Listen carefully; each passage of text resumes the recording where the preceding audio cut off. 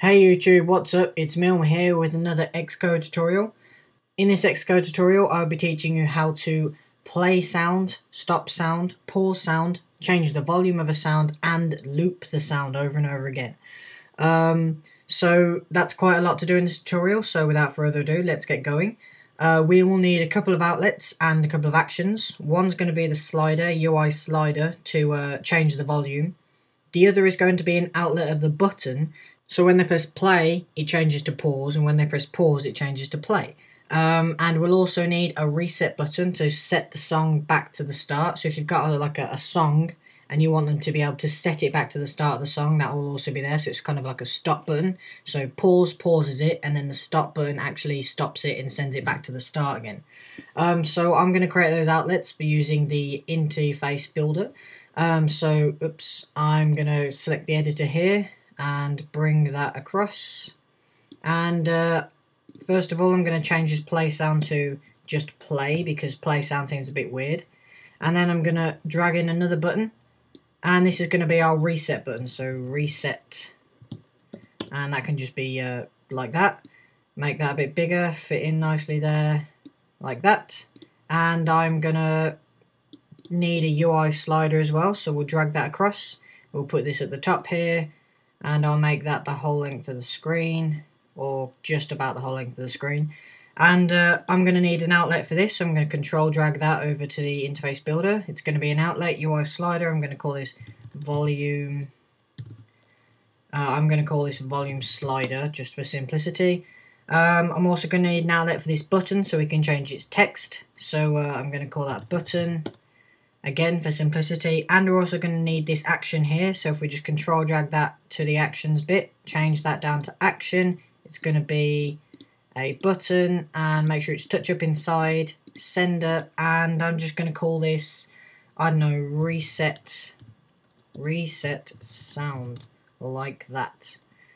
Um, now we also need an action for the changing of the volume. So to do that we're going to have to drag control drag from the UI slider down here it's going to be an action. We're going to change it to UI slider and we're going to have it on value changed because when you move the slider it actually sends out an action called value change. That means its value is changed. And the so UI slider goes from 0 to 1 and the volume of a music, uh, the volume of the sound you're playing also has the function of going from 0 to 1 for the sound. Um, so that's quite good. We're going to have it as a sender as well. And I'm going to call this change volume. And uh, no, I'm not going to have this sender. Just click none for that one, sorry. Uh, so you can have none. Um, so you can save that. And we shall change this to the dot .h. So we have the dot .h over there. And we'll change this one to the dot .m. Now I might have modified this a bit since I uh, came here last time because I was uh, testing out what we're going to do in this tutorial. Um, so it should still have the same code in it, it just uh, it might be moved around a little bit. Um, so here's the two actions we just made, sorry. Um, and there's the play sound button. Now, what we need to do is we need to find the view did load. So uh, we uncomment that. And we need to copy and paste all of this sound apart from the, well, yeah, all of this and just Command X and put it into the view did load. The reason for that is because we can set up our sound file and our sound and everything in the view did load so we can use it in these actions over here. Uh, now we don't need the sound play here otherwise the sound will start playing and uh, I'm just gonna come I'm just gonna drag in an mp3 here that's um, that I've got from myself just so it's longer and uh, so you can see that I can play and pause it and stuff and um, it's the Dead Island mp3 I'll put a link in the description if you want it um, so yeah, I'm just going to change that here. I'm going to rename it. So Dead Island like that. And it's going to be of type MP3. Um, so if we just change this one here back to the .h. So I just changed that there. Just drag in a new sound file. Just so, so you can see that I am pausing it and stopping it and stuff like that. Um, now down here, I'm going to teach you how to set its volume and I'm going to teach you how to set its loop. So uh, to set its loop, uh, I mean to set its volume, sorry, you're going to go sound dot volume space equals space and now just set a number between 0 and 1. Uh, so 0 is obviously nothing, it won't make a sound, and 1 is the highest you can go. So I'm going to set it to 1 for default, because remember we're going to allow them to change their volume over here. Um, so 1's default just in case this change volume doesn't work or something like that, it will still play just in case. So now I'm going to tell you how to set its loop. So if you go sound dot number of loops like that, space equals space, and again this is going to be an integer. So if you want your sound to loop twice, so say if you've got a beep sound and you want it to go beep beep instead of just beep, you can put 2 here and it will loop twice. It'll go beep beep, 1, 2. Uh, if you want it to loop 30 times, it will loop 30 times. Or if you want it to loop constantly, like never stop, so say if you've got uh, a background music playing and you don't want it to ever stop playing, uh, you can just set this to minus 1 and it will loop constantly, like all the time. It will never stop looping. Um, so yeah, that's just the number of loops thing. Um, so what I'm going to do now, I'm going to set up our play sound and uh, I'll be back in a minute once I've set that up just to show you what I've done. So see you in a bit. Okay guys, I'm back and as you can see I have added quite a lot of code here. Um, so I'm going to go through it in detail with you now. Um, so if you have a look, we have an if statement here and an else statement.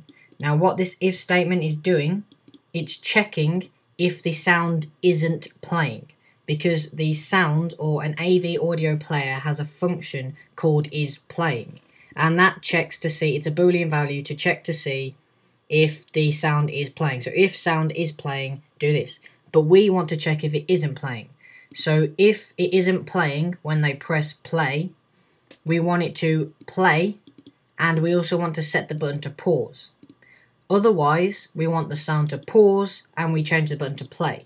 So this basically means if it isn't playing, play. If it is playing, pause. That's basically what it does. Um, so hopefully you understood that. That's what the explanation mark means. It basically reverses the output of this. So if it is, we're now reversing it so it isn't. Um, so yeah, and now I'm going to teach you how to set reset the sound and change the volume. So I'll put those two actions in and uh, I'll see you in a minute. Alright guys, I'm back. Okay, for the reset sound, to stop the sound, you're going to go sound, stop, and then you're going to set the sound's current time to zero. So that's sound dot current time space equals space zero. Um, so you can set that to if you know how long your song is, so I know mine's about two minutes, if I set that to 110 or 110, it will then skip the song forwards to 110. So if you want certain time locations within your song, you can just get to them using the sound current time function if you want. And then the change volume is quite simple. Um, it's going to be the sound dot volume, the same that we used in the view did load down here, sound dot volume, space equals space, the volume slider's value. And because the volume, as I said, goes from 0 to 1, and the slider goes from 0 to 1, they fit perfectly together. So if the slider's value is 0.3, the volume will be 0.3. If the volume slider's 1, the sound will be 1. So uh, it's quite easy to fit together, it's quite simple. Um, so I think that's about it for this tutorial. Um, so yeah, I'm going to build and run and I'll be back in a minute to show you it works. Alright guys, I'm back and as you can see our project is built. So if I select play here, you'll hear the song play. And uh, there you go, it's playing. And uh, if you just listen to it now and remember where it is, if I click pause and then play again, it will continue from where it was left off. And now if I click, um, so if it's playing, and now if I click reset, it then goes stops and it goes back to the start and uh, see it now starts from the start again. Um, and the volume works as well, so if I, I can turn it up here and I can turn it down, so you can see that works perfectly fine. Um, so yeah, there you go. That's how you play a sound file, and that's how you pause it and stop it and reset it, change its volume, and it will loop. But this song's quite long, so I don't want to waste two minutes showing you it's going to loop. Um, so I don't really know what to do for the next tutorial, guys. Just leave a comment in the description for anything you want me to do on sound. Uh, I'll try and do it for you. Um, I don't know, just post a comment in the description of what you want me to do, and uh, I'll hopefully do it for you. Um, so, yeah, don't forget to comment, rate, and subscribe, and I'll see you in the next tutorial.